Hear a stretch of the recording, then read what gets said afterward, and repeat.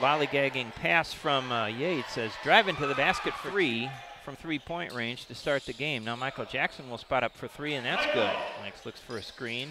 Now drives down the lane, puts it up with the left hand and scores. Count the basket. Down low, kicks it out to Justin Blanks, and he rattles into three-pointer. Winkleman out top to Franklin, over to Blanks, wide open for three, and he hit. Shot. Michael Jackson back into the game, gets it to Blanks. Nice move as he goes right through the.